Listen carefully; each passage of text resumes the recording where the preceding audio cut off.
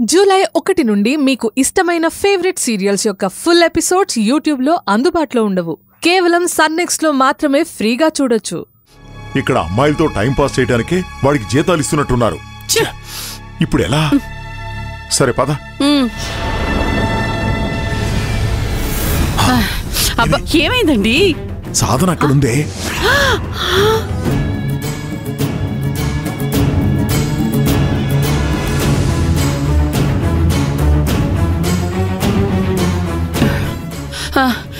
అయ్యో ఇప్పుడు ఎలాగండి? ఏం చేద్దాం?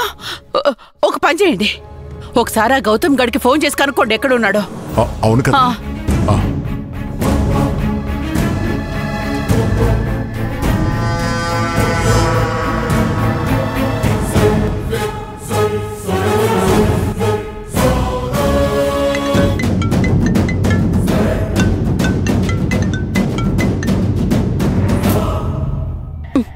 ఏమైందండి కాల్ లిఫ్ట్ చేయట్లేదే? అవునా? కొంప తీసి ఈ రోజు వీడు మనకి హ్యాండ్ ఇస్తాడా ఏంటి? అదే జరిగితే మన బతుకులు ఇంతే. అయ్యయ్యో! కన్నాం కదా ఊరి మీద పడి మేసే ఒక దున్నపోతుని. భరించాలి తప్పదు. పద ఆ గౌతమ్ డాక్టర్ ఎక్కడున్నాడో వెతికి పట్టుకుందాం. సరేనండి.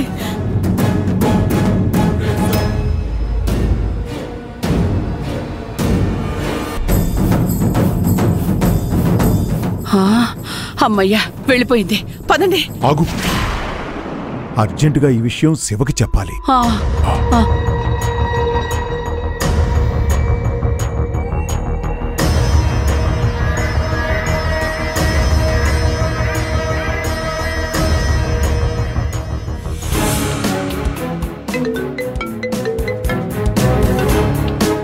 హలో నాన్న సాధన గుడికెళ్ళేదురా హాస్పిటల్కి వచ్చింది అవును నాన్న నేను కూడా చూశాను.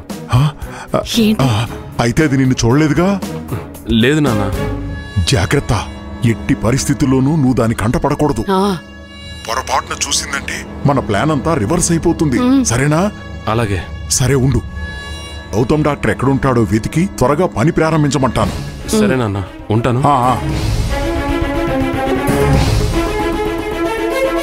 ఏయ్ పదవే. గౌతమ్ ఎక్కడున్నాడో వెతికి పట్టుకుందాం. రండి.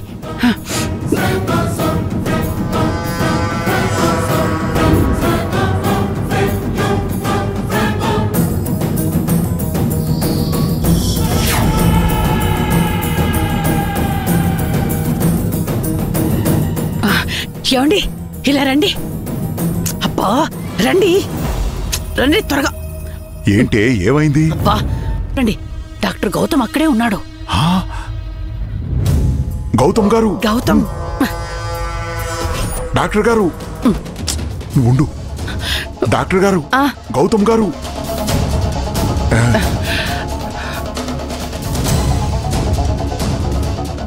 మీరు ఆ పేషెంట్ని చూడండి. ఓకే. నేను వేరే పేషెంట్ని చూసాను ఓకే సార్. వెళ్ళండి. అలాగే సార్.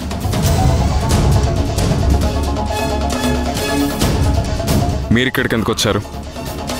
మీకు ముఖ్యమైన విషయం చెప్దామని ఫోన్ చేస్తుంటే మీరు లిఫ్ట్ చేయరేంటి? ఫోన్ చేశారా? Oh sorry. నేను ఒక ఇంపార్టెంట్ మీటింగ్లో ఉన్నాను. చెప్పండి ఎందుకు వచ్చారు ఆ, ఏంటా ముఖ్యమైన విషయం? ఆ, మనం అనుకున్నట్టు సాధన గుడికెళ్ళలేదు హాస్పిటల్కి వచ్చింది.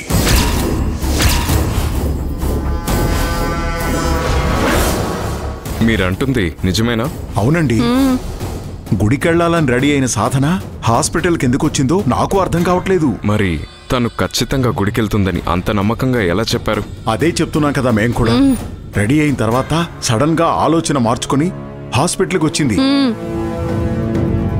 ఆ విషయం మీతో చెప్దామనే. ఇందాక నుంచి మేము చాలా టెన్షన్ పడుతున్నాం. డాక్టర్ గారు మాకున్న ఈ టెన్షన్స్లో మా బుర్ర అస్సలు పని చేయడం లేదు. మేమేం చేయాలో మీరే చెప్పాలి. ఇట్స్ ఓకే మనకు వేరే దారి లేదు. సాధనకి తెలియకుండా మనం ఈ పని పూర్తి చేయాలి. సరే. ఇప్పుడు మేమేం చేయాలి? అది కూడా చెప్పండి. ఏం లేదు. ఆ పవిత్రని నా క్యాబిన్లో వెయిట్ చేయమని చెప్పండి. మిగతాది నేను చూసుకుంటాను. ఆ, చూడండి డాక్టర్ గారు. ఈ విషయంలో మిమ్మల్నే నమ్ముకున్నాను. ఏ మాత్రం తేడా వచ్చినా మా పరువంతా వీధి పాలవుతుంది. దయచేసి ఎవ్వరికీ తెలియకుండా ఈ విషయం పూర్తి చేయాలి. నేను చెప్తున్నాను కదా నేను చూసుకుంటాను. ఇంకొక ముఖ్యమైన విషయం. పొరపాటున మీకు సాధన కనిపిస్తే ఏదో జనరల్ చెకప్కి వచ్చామని చెప్పండి. ఆ, ఇప్పటి వరకు మేము హాస్పిటల్లో కనిపించిన వాళ్ళందరికీ అదే విషయం చెప్తున్నాం. మా గురించి మేము మేనేజ్ చేస్తాం. మీరు మాత్రం మీరు మాత్రం ఈ విషయాన్ని కొంచెం జాగ్రత్తగా చూసుకోండి. అయినా డాక్టర్ గారు ఇందాక పవిత్ర మీ క్యాబిన్లోకి వచ్చి మాట్లాడింది కదా. మళ్ళీ క్యాబిన్కి రమ్మంటున్నారు ఎందుకు? టెస్ట్ చేయాలి. ఇంకేం టెస్ట్లండి? తొందరగా ఒక ఇంజెక్షన్ పొడి చేసి అబోషన్ చేసేసి ఇంటికి పంపించేసేయండి. డాక్టర్ గారికి ఎలా వైద్యం చేయాలో నేర్పిస్తున్నావు నువ్వు? కాస్త సైలెంట్గా ఉండు. సైలెంట్గా ఉండు అయ్- అయ్యో నా ఉద్దేశం అది కాదండి. అసలే సాధన హాస్పిటల్లో ఉంది. కాలు కాలిన పిల్లిలా అటు ఇటు తిరుగుతోంది కదా. పొరపాటున మధ్యలో దూరి ఎక్కడ మన పని చెడగొట్టేస్తుందోనని చాలా భయంగా ఉందండి. అంతే. ఏ పని ఎలా హ్యాండిల్ చేస్తే మన పని పూర్తవుతుందో మనం ఆ దారిలో వెళ్ళాలి. అప్పుడే ఆ అమ్మాయికి నా మీద ఒక నమ్మకం ఏర్పడుతుంది. ఆ తర్వాత నేనేం చెప్పినా వింటుంది. అర్థమవుతుందా? ఆ అర్థమైంది అర్థమైంది. ఇప్పుడు ఆ అమ్మాయి బ్లడ్ టెస్ట్ తీసుకుని ఆ అమ్మాయి బాడీలో యాంటీబాడీస్ తక్కువ ఉన్నాయని చెప్పి గర్భం తీయించేస్తాను. ఆ, అప్పుడు తనకి ఏమాత్రం అనుమానం రాదు. ఆ. సూపర్ డాక్టర్ గారు సూపర్. దీనికి ఎవరి దగ్గర ఏం మాట్లాడాలో ఏమీ తెలియదు పుట్టి మట్టి బుర్ర. ఇట్స్ ఓకే నో ప్రాబ్లం మీరు మాత్రం నేను చెప్పినట్టు చేయండి. అలాగే డాక్టర్ గారు. మేము బయలుదేరతాం. పద పద పద.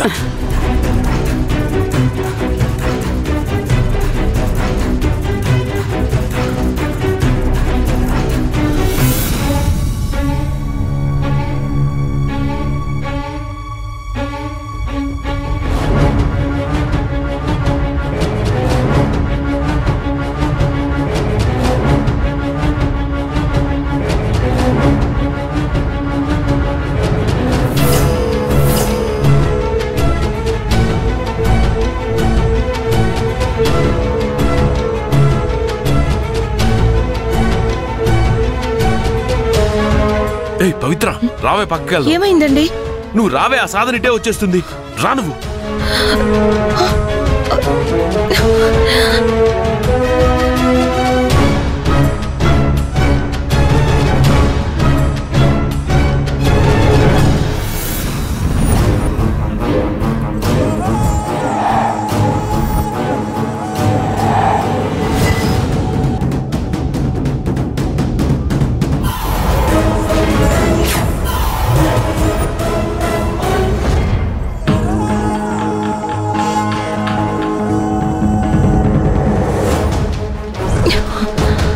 ఏయ్ పవిత్ర. ఏ- నువ్వు వంట మాస్టారు అప్పారావు గారి కూతురు పవిత్ర కదా? అవును. నువ్వు ఇక్కడేం చేస్తున్నావు? అంటే అది నాకు కొంచెం ఒంట్లో బాగాలేదండి ఏ ఏమైంది? ఫీవర్ వచ్చింది. అవునా? సరే ఉండు. నేను వెంటనే డాక్టర్తో మాట్లాడి నేను చెక్ చేయమని చెప్తాను? పర్వాలేదండి. ఇందాకే డాక్టర్ గారిని కలిశాను. వెయిట్ చేయమన్నారు. ఏంటి? కలిసావా? ఏ డాక్టర్ని కలిసావు? అంటే అది చెప్పు పవిత్ర ఏ డాక్టర్ని కలిసావు? అంటే డాక్టర్ పేరు గుర్తు రావట్లేదు. అవునా? సరే ఓకే. ఆయన రాసిచ్చిన మెడిసిన్ మాత్రం జాగ్రత్తగా వాడు ఓకేనా? ఓకే అలాగే అండి. ఏం మాట్లాడుతున్నావే నువ్వు? పవిత్ర